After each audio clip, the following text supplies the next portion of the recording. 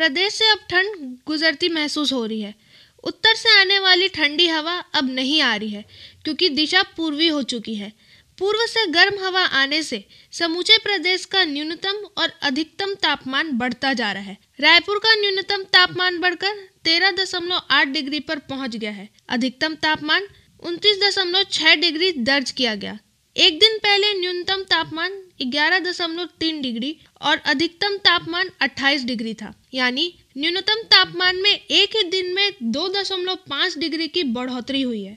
मौसम विज्ञानी H P चंद्र का कहना है कि फरवरी में अपेक्षाकृत बहुत कम ठंड पड़ती है। अभी 8 फरवरी तक तापमान गिरने वाला नहीं है। हालाँकि मौसम विभाग का पूर्वानुमान सटीक नहीं बैठ रहा है। कई बार उसका पूर्वानुमान फेल हुआ है। ज़्यादा से ज़्यादा वीडियो अपडेट्स के लिए हमारे चैनल को सब्सक्राइब करें, लाइक करें और शेयर करें न्यूली अपडेट्स के लिए बेल आइकॉन का दबाएँ। Desh TV, we report, you decide